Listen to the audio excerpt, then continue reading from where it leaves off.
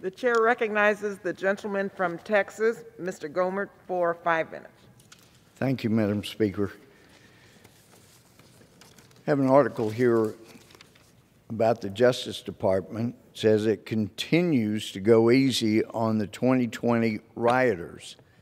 These are people that destroyed government buildings, destroyed places of business, and yet this administration continues to not just prosecute, but persecute people who just came into the Capitol wrongly, should be punished, but to have people let loose immediately after burning people, being involved in incidents where people were killed, is absolutely an outrage to judgment.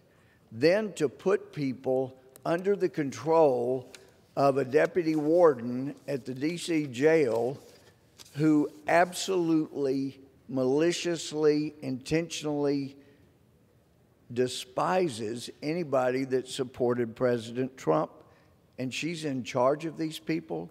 This is so dangerous and should not be allowed.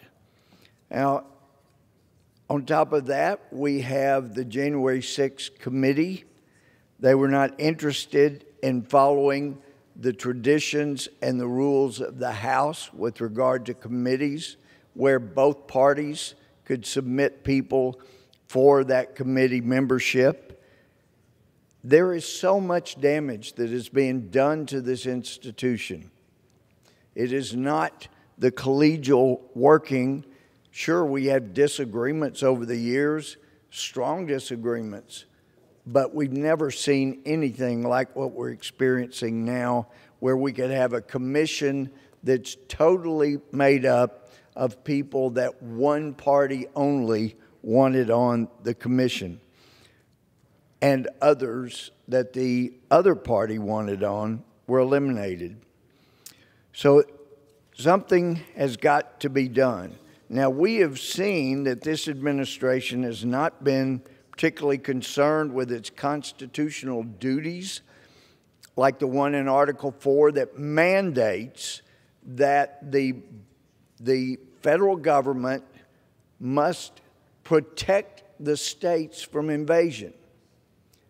You know, to Woodrow Wilson, four or five dozen people was an invasion. Nowadays, this administration thinks two million is not an invasion, even though they bring death and suffering in the forms of drugs, sex trafficking, and human trafficking.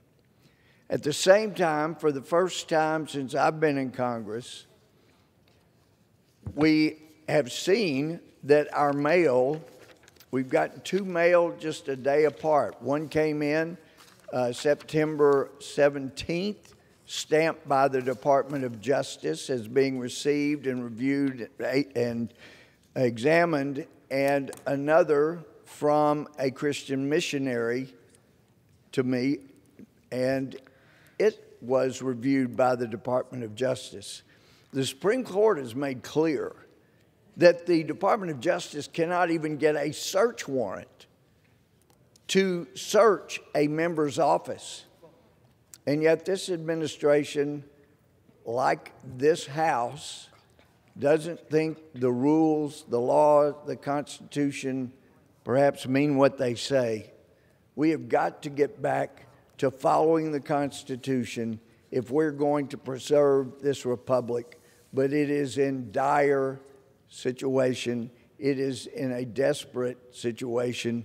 And if we do not get back to following the Constitution and observing the rules of the House, then our republic will be lost.